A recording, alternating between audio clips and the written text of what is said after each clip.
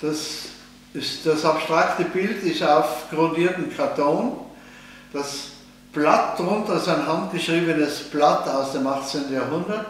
Die Farben sind reine Pigmente, dann ist Büster drauf und Schellack. Und das Bild heißt Herbst 2.